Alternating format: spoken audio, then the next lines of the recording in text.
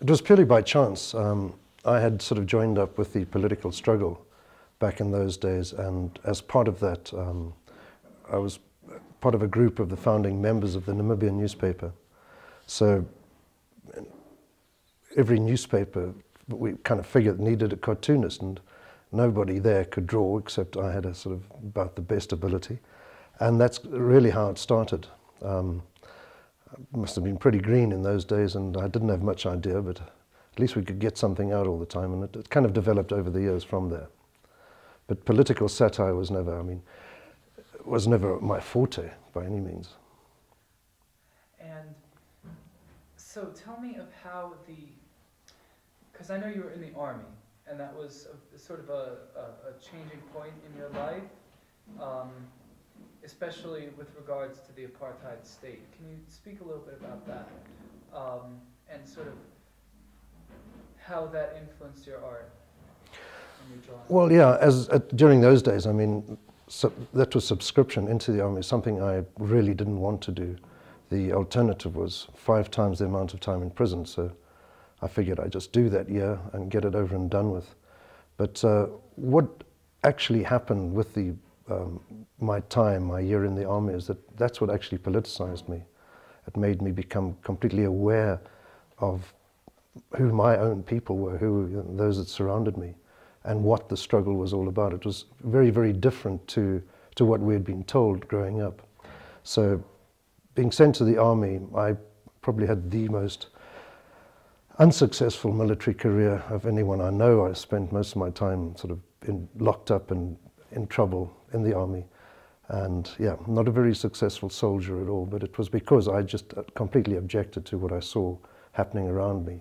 The treatment of people by the very people whose side I was on. So that kind of really, you know, it started me thinking. And as soon as I'd come out of the army, I'd sort of become completely politicized. Um, but the drawing, the cartoons in that only started quite a few years later. Can you tell us a little bit about the war in Ovamboland? It was a completely fruitless exercise. Um, you know, we were defending South Africa against this communist onslaught, which you know, was kind of a myth in a lot of, a lot of the minds of the leaders in South Africa. Um, and for me to finally meet these strange communist beasts uh, turned out to be just very ordinary, good people. Um, I was really quite surprised, and as I said, this is what changed it. The time up there was awful. The kind of atrocities being committed by the South African Defence Forces was, was shocking and something that was not easy to live with. And I think it, it affected me for many, many years uh, after that. Uh, it was just the kind of thing people shouldn't really have to go through. I know a lot of authors have spoken about sort of conflating, at least at that time, the South African government conflating the, the race and communism, as in like the, the, the threat of losing Namibia to the communists was actually that of losing Namibia to the non-apartheid uh, structure. And um, I know that's because I, I, I, read a lot about Caprivi because we're going to be going there, and that was sort of the, the, the, usefulness of Caprivi was to keep an eye on the neighbors for either keeping South Africa as this bastion of anti-communism, but also sort of keeping it as a bastion of, of white values. Can you speak a little bit about that? Well, very much so. I mean, Namibia was was a buffer zone you know, and, in, to a large degree. There was nothing much they could do about Zimbabwe and Zambia and Botswana for that matter. Botswana wasn't really a threat. but um, the biggest sort of threat was coming from Angola and sort of that side of Africa and maybe down the east coast of Tanzania. Um, so this was just a massive buffer zone. Um, and yes, it was. It was to try and keep the sort of white ideals, you know, going. Um, such an archaic idea, and how they ever thought they'd succeed in that, I don't know. Can you can you talk to us a little bit about SWAPO at that time? What was your opinion of SWAPO? Do you, did you see them as a, a pragmatic means to an end? At that stage, I saw it as the only means to an end. Um, you know, they were sort of fairly closely aligned to the ANC, but um, the, the, African National Congress from South Africa. But uh, the only way we were going to get rid of apartheid in this country was by um, was through SWAPO. Uh, there was no one else who, who, could sort of do that for us. So that is certainly why I immediately, you know, jo joined up with SWAPO. Um, I didn't have a, very deep knowledge at the time of who they were and what kind of an organization, but they did embrace all Namibians in the fight against apartheid. So for me, that was good enough. I was going to, I was prepared to go along with them. Okay, and I want to bring up your, your, your poster work with them. No, let that thing fall to the ground. because this, this, this piece I found very interesting. Um, not only the way, can you go a little bit into the way the posters were made as well as how they were reproduced and distributed through some of, uh, you can, you can hold the book up if you like, but um, sort of how they were made as well as uh, distributed to the public in such a way that they evoked this um, nationalist sentiment? Yeah, I mean, the posters, a lot of the time were being made, um, well, I don't think the Namibian newspaper would have been particularly happy at the time, trying to be an independent paper. But I would use their facilities, bromide cameras and things like that, their light desks and everything, all these kind of things I didn't personally have. So a lot of those were just sort of really, it was a mixture of the cartoons, it was a mixture of photographs, whatever sentiment was going. And I mean, once again, I hadn't had much experience or training in, in design or anything. And it was just something you knew what would get to the people. And we had to mobilize the people. It was as simple as that. So posters were just made willy-nilly, in sort of whatever way we could do it. We had a, a press, uh, a wonderful Italian press for T-shirts um, stored in my, my garage, which people would never ever you know, have considered looking there at the time. They were searching for this thing, knowing of its existence. And we, of course, right through Burn the Midnight Oil, would go right through the night and we'd print posters, we'd print T-shirts and things like that. The quality wasn't very good, but the message was there. And of course, for the people to see a T-shirt like that, when, when virtually everything that was SWAPO was banned, uh, for people to see that, it really lifted a lot of people's spirits. So that was fantastic for us, you know. Um, of course, you felt, you know, you knew you were doing wrong and you knew you could get punished for what you were doing, but, well, that was it. The struggle, the battle lines had been drawn and that was it. Can you speak of a little bit, um, well, I know we cover it the Namibian at 25, the, um, the bombing of the Namibian offices. When we were at the, the, the offices, they actually kept a little portion of the wall framed to, um, to sort of commemorate that. I'll see if I can, there's, there's a picture in here. Give me just one moment. Because that's, I know, and it also happened more than once, if, if my memory That's right. correct. Yeah, that's, that was at the, once the, um, that was the new office um, which was bombed. The old offices were bombed as well. And we probably thought it was a good idea to get out of there. The, the firm of architects that had kindly let us rent the premises were obviously not very happy. It was an old, lovely building, and since we had moved in there, things had turned to chaos and the place was getting bombed and everything.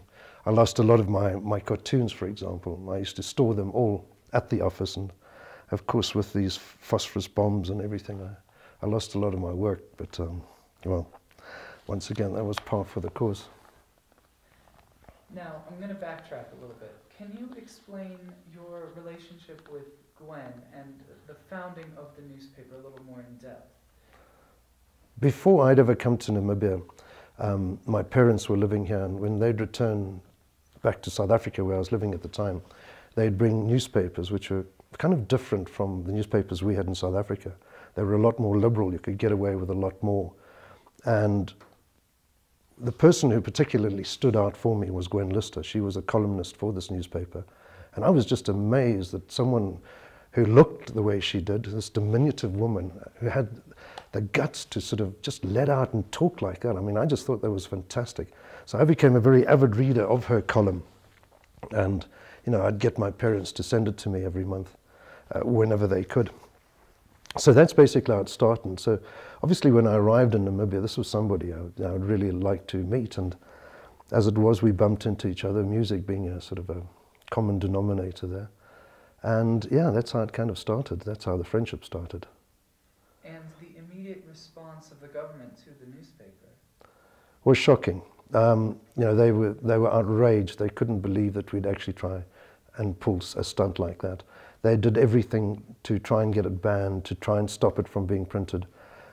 First edition, walking out on the streets with a red T-shirt, which of course we had been branded commies, so figured that may as well go the whole hog. And I walked out and sold newspapers as a, as a vendor uh, for the very first edition.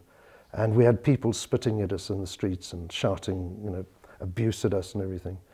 But on the other hand, you had a lot of people who were very curious, and of course, a lot of excited people buying this newspaper. It was cheaper than all the others, and suddenly it was for the first time in this country there was the, the voice of the people had arrived. So yeah, it was a very mixed reaction, but uh, very interesting. Well, you know, I, I think just very simply put, a decision was taken by Gwen at the time that this is going to be an independent newspaper. And she didn't encourage members of the staff, for example, to become card-carrying members of, the, of SWAPO.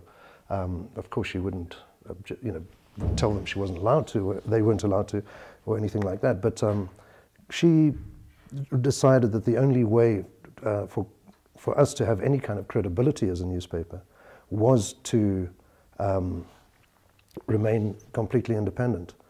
And, and that's what she had done. And I know that when the, the struggle was over and independence had come, the first thing the government wanted was her to obviously head up a government newspaper, believing that's what, Swap, uh, what the Namibian always had been.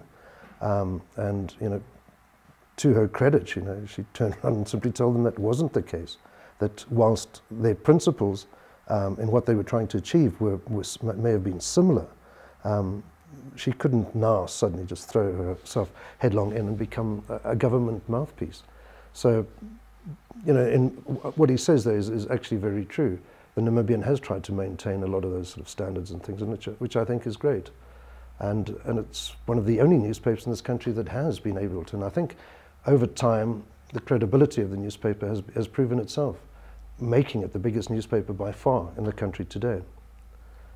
And uh, now about your cartoons, because you began, um, there was one printed that was essentially saying uh, uh, like a uh, resisting the army and, and whatnot during apartheid times. And it morphed to where SWAPO comes under fire as well, or decisions made by SWAPO. I know there was the thing with the railroad, and um, and oh, there, there are dozens. But is this because SWAPO has changed, or because SWAPO was not the end, but merely sort of a means to an end? It's a combination of both. SWAPO were not the end, um, and also they changed a, a lot. When they returned, um, we, a lot of us, firmly believed that we would now see all the policies that they had spoken about for years and years prior to independence. Um, those were never implemented. None of that really happened. The poor stayed poor, the rich got richer, nothing really changed. We changed our flag, we changed our name, we changed a few things, but nothing else really changed. So, so yes, um, and I, I, believed at the time that my role as a political satirist was simply to whoever was in power, if they were screwing up, then you know we, we hammer them. And I very quickly realized, and I gave, I gave them a grace period of a few years in which I decided I wouldn't really do cartoons. It was, it was a difficult thing for me to do. The very people I'd been defending and supporting all these years um, were now screwing up a bit, and you know, it was a bit awkward to, to have a go at them. But I very quickly realized that, you know, that in keeping with the policies of the paper, that's what we needed to do. Um, by then, of course, I had gone into film and other sort of areas, and I didn't really have that much time for the, the paper, but I, I began to realize that it is, it is an important um, little niche in the paper. People enjoyed the cartoon. It was necessary, and I found myself becoming increasingly, um, I, I, wouldn't say demoralized, but there were so many things happening in the country I was, I was really unhappy with, and I needed to vent my frustration as well. So to be able to do that in a small little piece, I could just do a cartoon every week and feel a little bit better. and, okay, then how do you determine who gets it each week? You know, it's as simple as you just, you know, you pick up the paper. I only do the cartoons on a Friday, so you know, I'll read Monday to Wednesday to th Thursday. And, you know, whoever, there's so much um, information. I mean, so much material for a cartoon usually that, uh, yeah, it's, it's pretty easy to find one. And then you just sort of, you know, it's the bigger guys. You usually go for them and the sort of the, the more public figures. And as I say, there's, there's always a lot of material for a cartoon. Okay.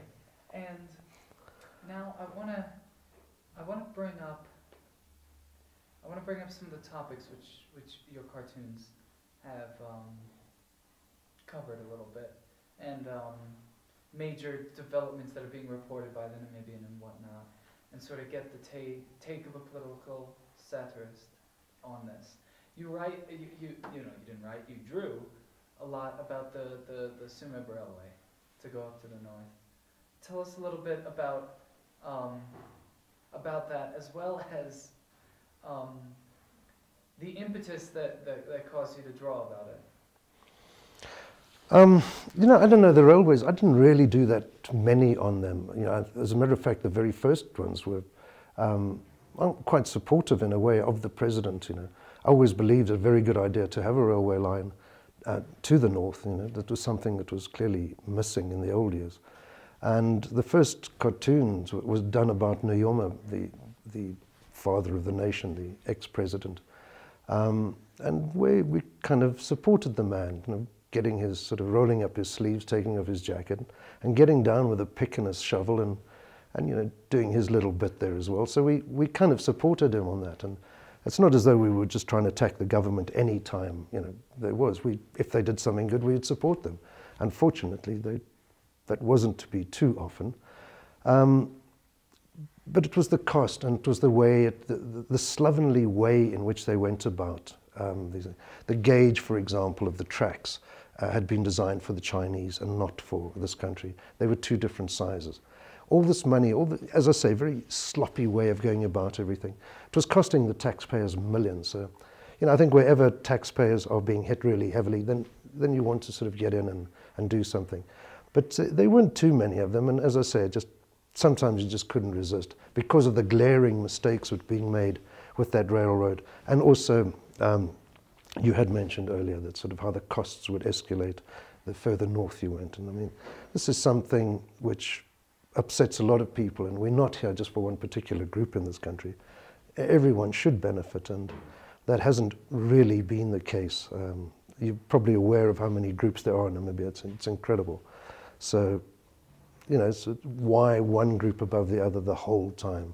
And, you know, we'd like to see the benefits go to be spread a bit further. I hunted around, but I couldn't find any any any of your cartoons about it. But it could be that I'm just not very good at finding. Did you do anything on Northland City? On? Northland City. You know that big project that that um. Oh. There was, yes, there was one that I had done, but I, you know, I can't even remember it. So many of these co comics, I've been doing it for so long, I can't even remember all of them. There was something we had done because that was just another scam. It was quite a few years ago. But that was oh, just an absolute scam. What are what was probably your most memorable one? Either the one that you personally thought was the best, or one that received sort of some of the best responses from the public. You know, funny enough, um, my favorite subject was always the one of the former South African leaders, P.W. Botha. I used to really you know, enjoy having a go at him. But probably the most memorable was um, there were a group of actually policemen working as soldiers in, in the north of this country, and they would be called Makakunya, which um, literally meant bloodsucker. And um, they belonged to an organization called Koevoet. So we'd go for a, a character that looked really, really scary, with bloodshot eyes, and this kind of character that would come in the night. And of course, everybody in northern Namibia lived in fear of, of Koevoet which literally means, or that means crowbar. Um, and they were a pretty evil bunch of people. So instead of just singling out their leader or something, we just depict them this very monstrous character. And strangely enough, those probably that became the most memorable figure that I'd ever done. Yeah, yeah, would be. And who's getting it next? The corrupt leaders. Yeah, I think that's what we've got to start looking at. The cronyism that's carrying on in this country. the corruption, which I'm sure everywhere you've gone in this place, you've heard a lot about it. But it is, it's, it's, it's tragic to see what's going on. I'm not saying we're the only country in Africa by any means. It's happening to, in our neighbors down south. That is frightening as well, the, the level of corruption. But I just don't see why they should be allowed to be getting away with it. It is so blatant. You've got guys who finally ended up in prison, but these guys who believed that um, if they got caught um, with all these things that they were doing, the government would support them. I am a SWAPO member. This is this sort of whole thing of entitlement in this country, that nothing can happen to us, we're untouchable. And so th that should be my main target. You know, anybody who's corrupt, and believe me, it's hard to find a politician these days who's not corrupt. Thank you so much for meeting with us, sir. Hey, God. Now, no problem. what questions do you have